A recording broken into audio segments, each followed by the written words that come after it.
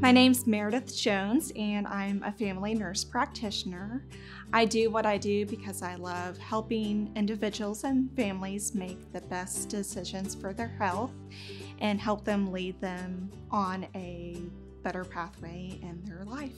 So I can see anyone from a baby to um, older individuals. I help explain to them what is going on with their health, what kind of conditions they have, and what we can do to help treat them.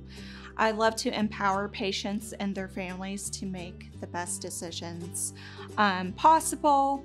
And I just love getting to know people and their families and building a relationship with them.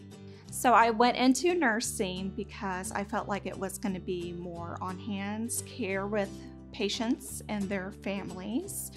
I felt like it was a good way to build relationships, um, both short and long term.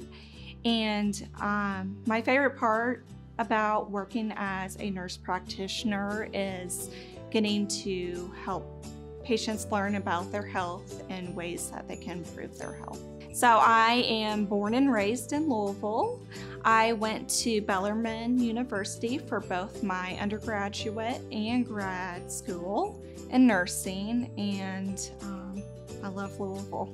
I love to spend time with my husband, my family, and my friends.